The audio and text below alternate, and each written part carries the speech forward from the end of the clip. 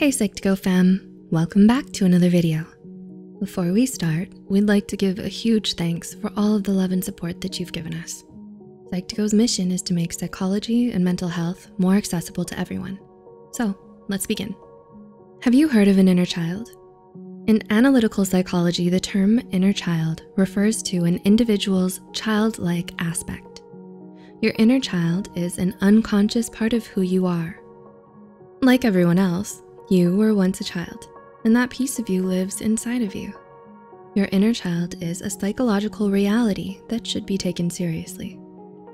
When dealing with an unhealthy childhood, you may have learned to internalize negativity. After repeatedly being mistreated, you might think you deserve to be treated poorly. In that way, your inner child can become wounded. You might not have gotten over the pain of that event, even if you think you did. If any of the following applies to you, you might have a wounded inner child. One, you fear abandonment. Do you often worry that the people in your life are going to leave you eventually? Do you feel like you're unworthy of love?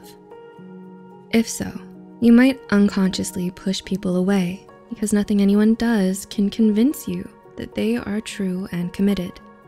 You'd rather be alone than be abandoned. This common fear of abandonment is arguably one of the most damaging fears of all. Our behaviors and actions in current relationships are the result of old fears and learned concepts that took place in our childhood. Two, you have inappropriate guilt. Did your parents blame you a lot as a child? When adults make children feel responsible for things outside of their control, this can leave you with feelings of unnecessary guilt. Even in adulthood, when you've done something wrong, it's normal to feel guilt. However, when your unwarranted sense of guilt doesn't fit your current circumstances, this can be a sign of a wounded inner child. This feeling most likely means you were made to feel frequent guilt in your childhood and you never healed from it. Three, you have trust issues. Were you constantly lied to, cheated on, or manipulated in your childhood? Since then, you're always wary of other people's intentions to avoid experiencing the same kind of anxiety and heartache all over again, you develop trust issues as a defense mechanism. But the truth is, not everyone is going to mistreat you. And if you hold on to this belief that everyone will hurt you, it prevents you from getting close to people who do truly love you. Such issues often stem from a wounded inner child who learned early on that people can't be trusted. Four, you have a fear of setting boundaries. How much of yourself will you give to other people? Do you find it hard to properly enforce the boundaries you've set for yourself? Boundaries are the rules we create in our own minds to help us figure out how much we'll let other people get away with in our lives. Perhaps you're a people pleaser, unable to say no when someone asks you for a favor. You could be afraid to hurt their feelings, or maybe you're just not good at speaking your mind. This is another sign of a wounded inner child. Number five, you get angry easily. Anger is a universal emotion that everyone feels at one point or another. In some cases, anger can be healthy to feel and express.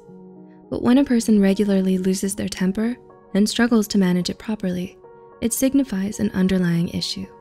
Being overly angry can be the same as your inner child having a fit.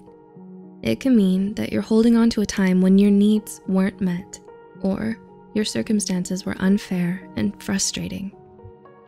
Number six, you have trouble letting things go. We bury our trauma and bring them with us from our childhood into adulthood, whether we want to or not. Do you continue to think about arguments long after they're over? Do you ruminate over bad things that happened even though you know you'd be happier if you just moved on? Or do you cling to things that are already over because it feels safer than accepting reality? This could all be because you're experiencing symptoms of the baggage that was left behind in your past. Did these signs help you recognize whether your inner child was wounded or not? By looking at your past trauma, it helps you understand your behaviors and gets you to the root of your fears.